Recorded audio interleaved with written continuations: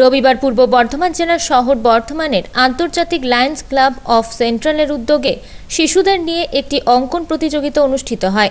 এদিন পঁচাত্তর জন শিশু অঙ্কন প্রতিযোগিতায় অংশগ্রহণ করেন।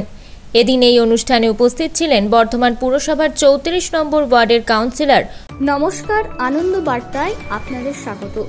আপনাদের নিউজ দেখার পর একটা লাইক এবং একটা শেয়ার করুন। ভালো ভালো নিউজ দেখতে পেজটি লাইক করে দিন। উমা সাই সহ বিশিষ্ট ব্যক্তিবর্গ।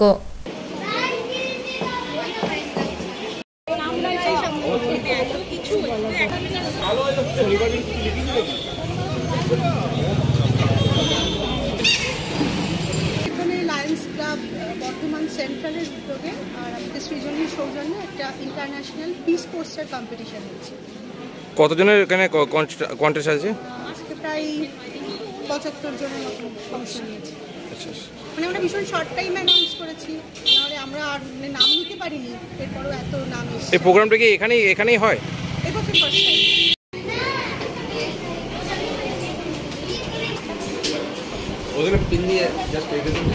বর্ধমান থেকে পিন্টু প্যাটেলের রিপোর্ট আনন্দ বার্তা।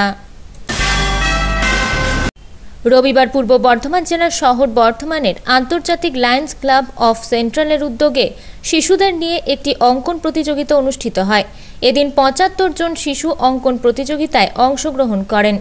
এদিন এই অনুষ্ঠানে উপস্থিত ছিলেন বর্ধমান পুরসভার চৌত্রিশ নম্বর ওয়ার্ডের কাউন্সিলর উমা সাই সহ বিশিষ্ট ব্যক্তিবর্গ।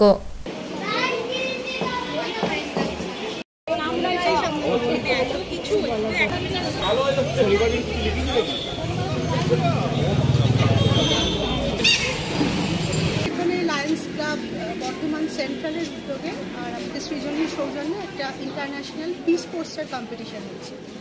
কতজনের এখানে কন্টেস্ট আছে? আজকে প্রায় পঁচাত্তর জনের মতো অংশ নিয়েছে। আচ্ছা আচ্ছা। মানে আমরা ভীষণ শর্ট টাইম অ্যানাউন্স করেছি নাহলে আমরা আর মানে নাম নিতে পারিনি এরপরও এত নাম এই প্রোগ্রামটা কি এখানেই এখানেই হয়? এবছর ফার্স্ট টাইম